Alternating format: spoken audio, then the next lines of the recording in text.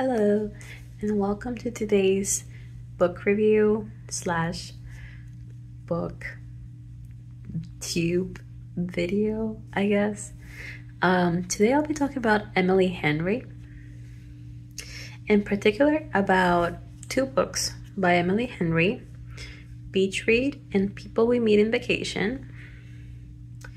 So I've heard a lot of hype around Emily Henry books from BookTok and BookTube, and just like it seems like bookstores really like to have at least one of her books in the romance section. So I would say she's a pretty well-known, familiar um, author that gets a lot of hype for the romance books in the romance genre.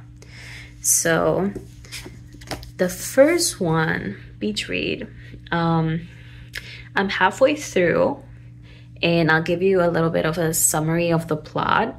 Basically, two rival book authors uh, meet in a sort of like lake house. They're, they're neighbors in the lake house.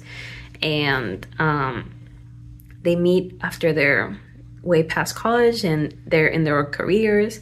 But they decide to um, write a book but it has to be in a different genre that they normally do. So the um, girl, January, usually does romance, and Augustus usually does nonfiction.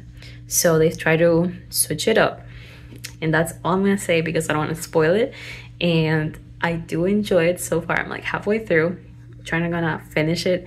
I'm gonna try to finish it before the end of this month. And then the other book that I kind of I'm hoping is as good as Beach Read is People We Meet in Vacation. And it's basically two best friends that keep going on summer vacations together. And eventually we'll, we'll try to see if their friendship is worth like going into the friendship to lovers kind of thing.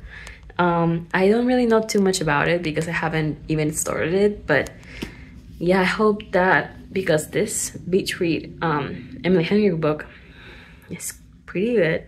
I'm hoping that Emily Henry's writing style is enough for me to like keep reading.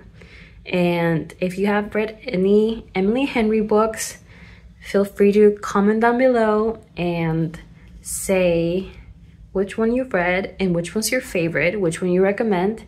And out of these two, Beach Read and People We Meet in Vacation, which one do you prefer? So far, I'm loving Beach Read and this is my I would give it like a four stars right now, but we'll see if it turns into a um, 4.5. Anyways, that's the video and if you think Emily Henry is overrated or overhyped, let me know.